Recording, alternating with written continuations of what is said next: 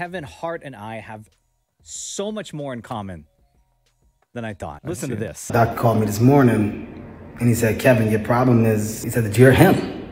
You're him. You got something that just can't be cured. You got that dog in you because you got that dog.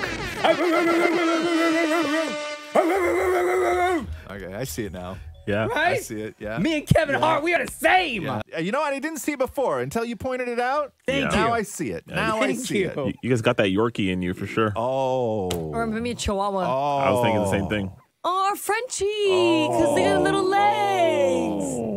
Oh. Teacup. That's what we're going to call you from now on. Can we call you Teacup? Can that be your new street name? I know when we first started the show, you used to go by the Duke of Malvern, but I'm thinking Teacup. I like that. Teacup, the little pup. This did not go the way I thought it would.